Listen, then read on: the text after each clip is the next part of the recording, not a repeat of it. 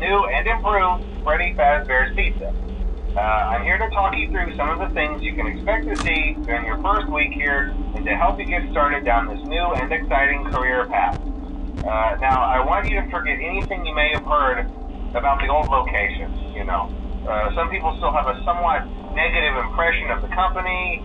Uh, that old restaurant was kind of left to rot for quite a while, but I want to reassure you, Fazbear Entertainment is committed to family fun and above all, safety they've spent a small fortune on these new animatronics. Uh, facial recognition, advanced mobility. They even let them walk around during the day. Isn't that neat? but most importantly, they're all tied into some kind of criminal database so they can detect a predator a mile away. Heck, we should be paying them to guard you. Uh, now, that being said, no new system is without its kinks. Uh, you're only the second guard to work at that location. Uh, the first guy finished his week but complained about conditions. Uh, we switched him over to the day shift. So, hey, lucky you, right? Uh, mainly he expressed concern that certain characters seemed to move around at night and even attempted to get into his office. Now, from what we know, that should be impossible. Uh, that restaurant should be the safest place on Earth. So while our engineers don't really have an explanation for this, the working theory is that the robots were never given a proper night mode. So when it gets quiet, they think they're in the wrong room. So then they go try to find where the people are, and in this case, that's your office.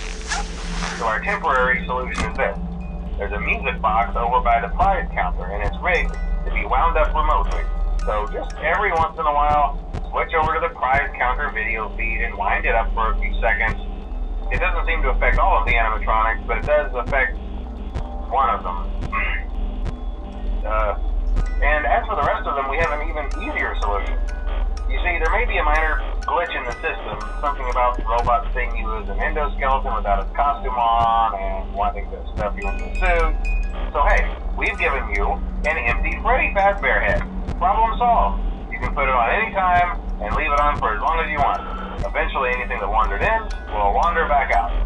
Uh, something else worth mentioning is kind of the quartz modern design of the building. You may have noticed there are no doors for you to close. uh, but hey, you have a light, and even though your flashlight can run out of power, the building cannot. So don't worry about the place going dark. Well, I think that's it. Uh, you should be golden. Uh, check the lights, put on the Freddy head if you need to. Uh, keep the music box wound up. Piece of cake. Have a good night, and I'll talk to you tomorrow.